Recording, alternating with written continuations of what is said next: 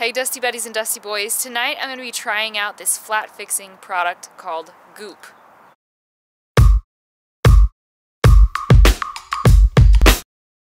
I've been carrying this around for quite a few months, but because I run tubeless, I really don't get flat tires, but I've been really wanting to try it and see if it works. Well, right now I've got this GT sensor.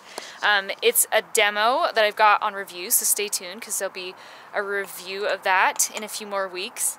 Um, but demo bikes don't come tubeless when they send them to you. And so being here in Arizona where things tend to be really prickly, first ride out, like it seemed fine.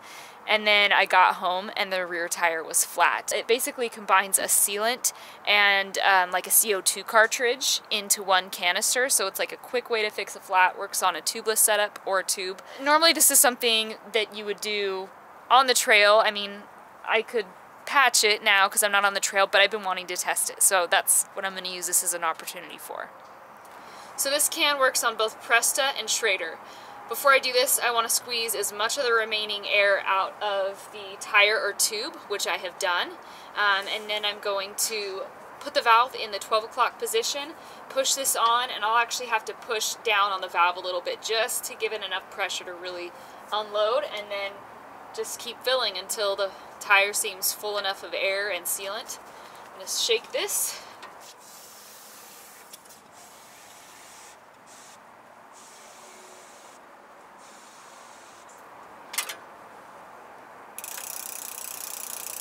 Alright, I'm going to go take this for a spin to see how well it's holding and uh, let the sealant kind of move around in the tube a little bit more.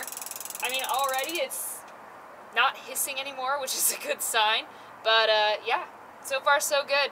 Sweet, seems to be holding. I'm just going for a quick little spin to let that sealant swish around a little bit. But uh, yeah, I just thought that was a really cool product. Quick way to fix a flat on the trail. Pretty nifty. GUP, check it out. Man, beautiful Arizona.